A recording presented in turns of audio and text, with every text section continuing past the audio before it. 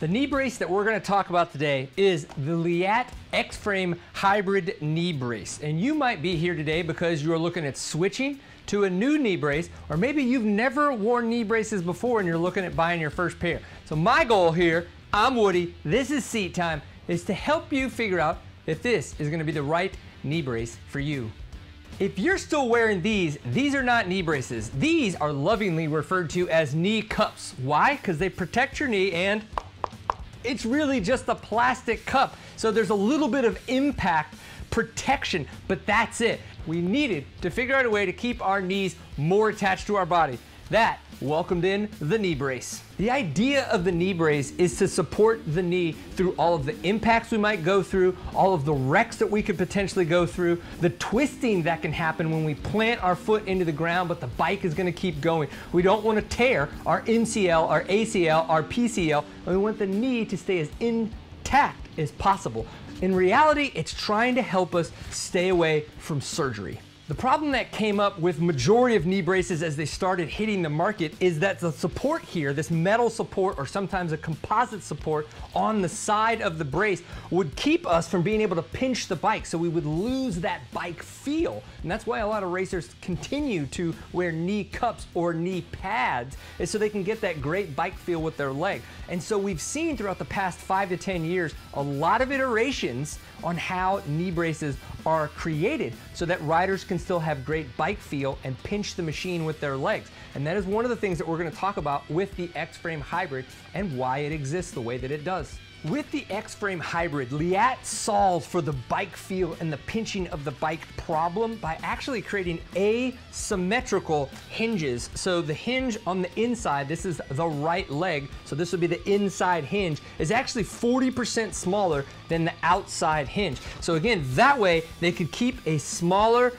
landscape here, right? This is taking up less knee so that you can pinch the bike a little bit better.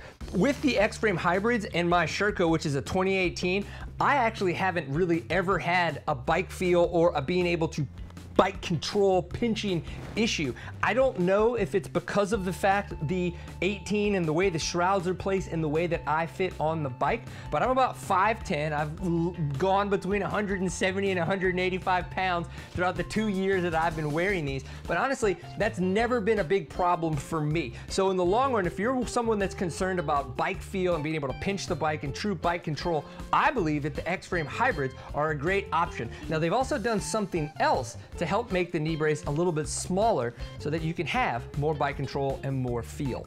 The X-Frame Hybrid is called the Hybrid because Leatt actually removed the patella cup from the brace. So all of the attachment points that you would need for the patella cup make the brace a little bit wider and they wanted to slim up the form factor of the brace. So where is the patella protection? Well, there's two parts to it. So you've got the sleeve which goes on underneath the brace. Yes, you do put the sleeve on first. So there's a little pocket that these slide into here in the sleeves. And then what you do is you put this sleeve on first and then you lace up the brace and put the brace on over that. It has created a very form-fitting knee brace that has worked great in all of the wrecks that you've seen me uh, bring to you guys here on the Seat Time channel. So if you think that this is a little bit um, interesting, it is, but it works very well.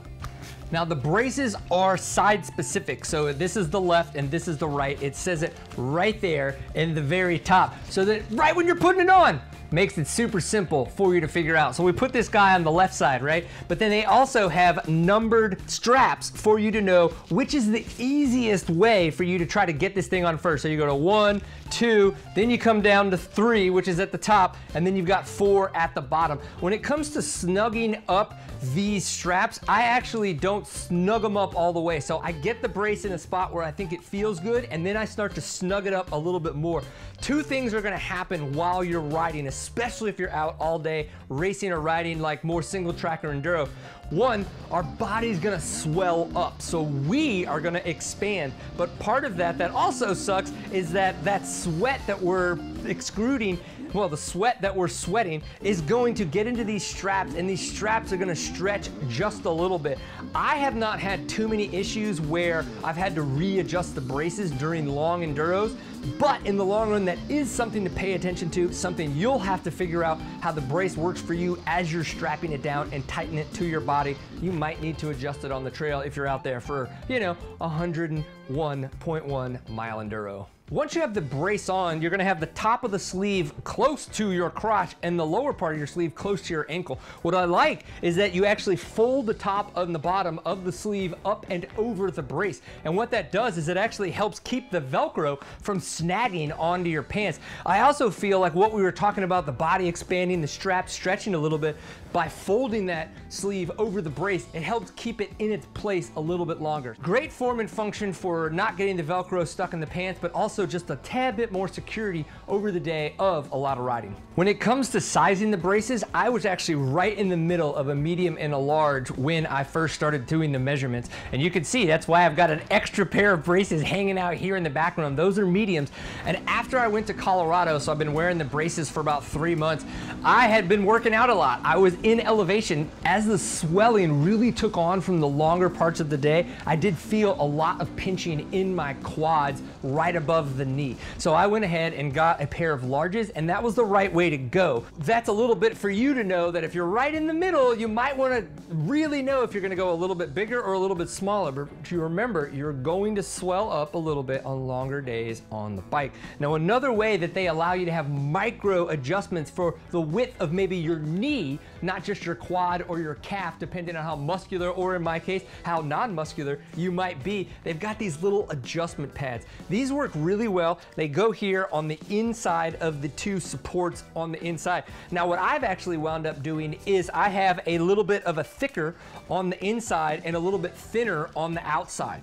So that has helped really center up on my knee and what I feel keeps the brace nice and secure. Now again, you're gonna wanna find that comfort spot with these because you don't want to just like barely be able to fit because again with the swelling that could happen it might make it very uncomfortable um, the only thing is as these kind of like get moved around and everything they're not marked so you can definitely tell like which is the biggest and which is the smallest but once you start to really play around with the intricacy of it you can get kind of confused so a pair of calipers is actually useful in this I would just say in the future Leatt label these let us know exactly what size they are It'll make it a lot easier for us as we're trying to figure all this out.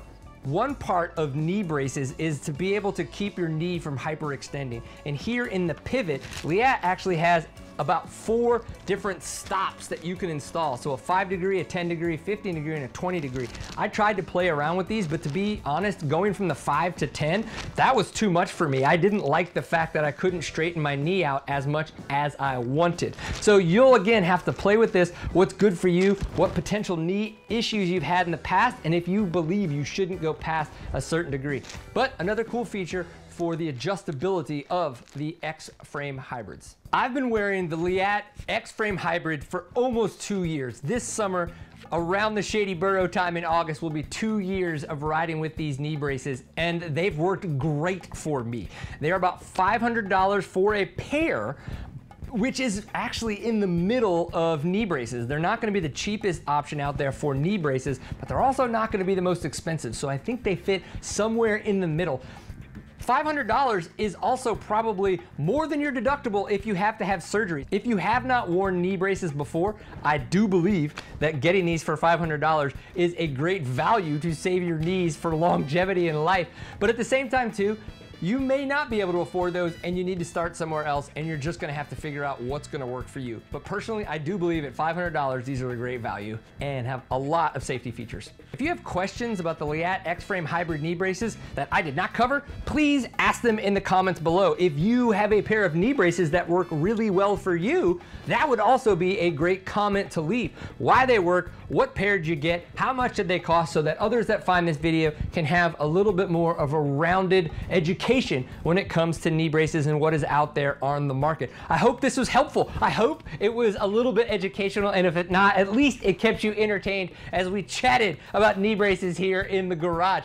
Enjoy getting seat time. If we don't get a chance to see you on the trail, well, you know what? We'll get a chance to see you on the internet.